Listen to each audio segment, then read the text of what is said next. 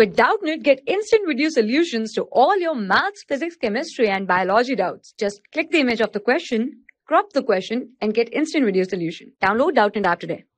In this question we're given that if a vector, v vector, c vector are unit vectors such that vector a plus vector v plus vector c is equal to 0, then the value of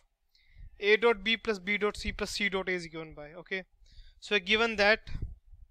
a plus b plus c is equal to 0 what we'll do is we take dot a product on both sides so we'll get a dot a plus b plus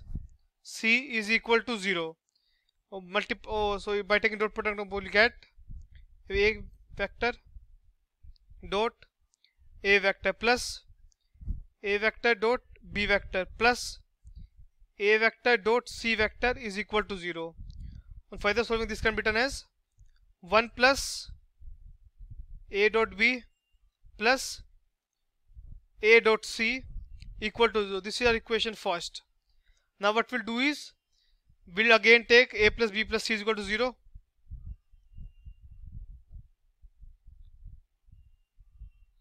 now we'll take dot product with b on both sides. So we'll get b dot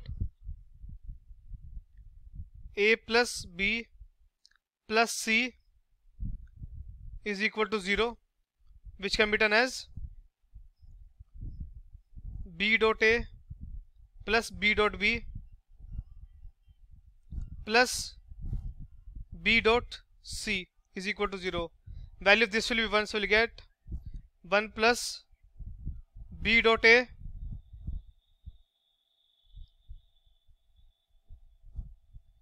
plus b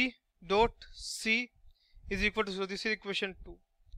now we again type this a, a plus b plus c is equal to 0 and now we'll take dot product with c on both side. Okay so we'll get c dot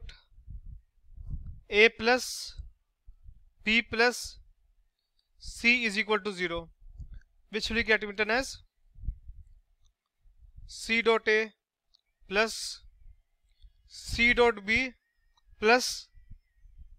c dot c equal to 0 which can be written as 1 plus c dot a plus c dot b is equal to 0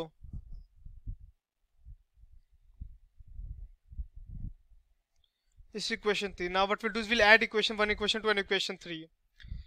so this is equation 1 this is equation 2 this is equation 3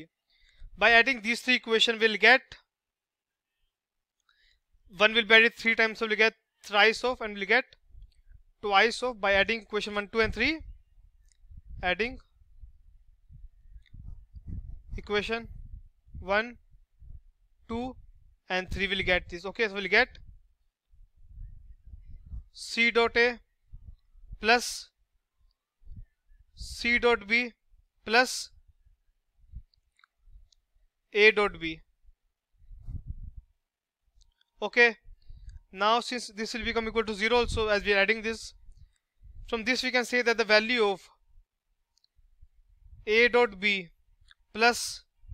b dot c plus c dot a